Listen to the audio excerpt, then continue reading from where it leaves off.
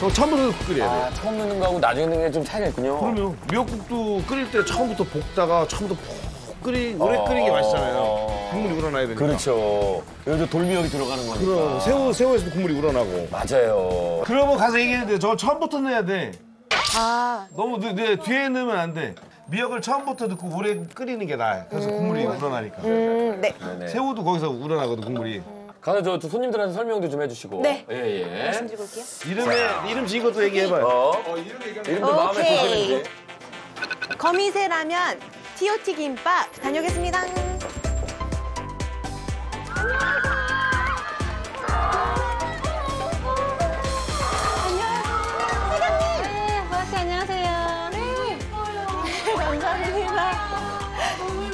그 사장님 라면 위에서 보고 네. 방법 알려드리려고 왔는데 네. 그저 양념 있잖아요 미역 양념 예, 예. 그거를 물 끓기 전부터 같이 넣고 끓여주셔야지 아, 예, 좀 더. 육수가 많이- 깊어진다고, 예, 알겠습니다. 하시더라고요. 네.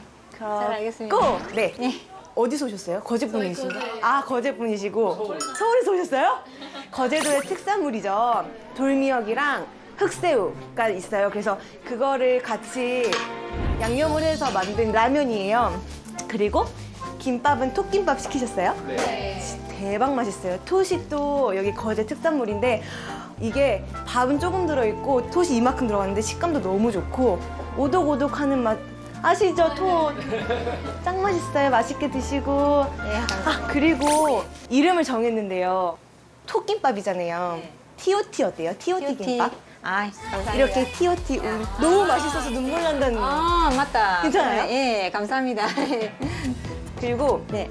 라면은 거미새 라면이에요.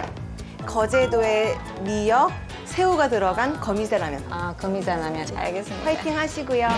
감사합니다. 네, 수고하세요. 1번 이쪽에 라면 하나, 김밥. 아, 1번 이쪽 쪽입니까? 라면 하나, 김밥 하나입니다. 저 여학생 셋이 어, 처음 탄생한 거미새 라면, 거미새 라면을 드시는 분들입니다. 김밥도, 아, 톳김밥하고. 또 티오티 김밥. 아, 저, 저 여학생이 티오티 김밥을 제일 먼저 먹어봤습니다.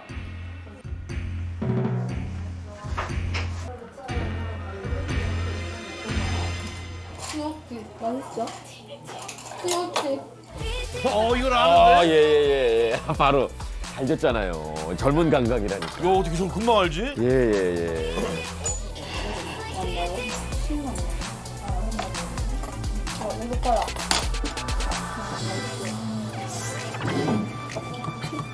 귀엽지?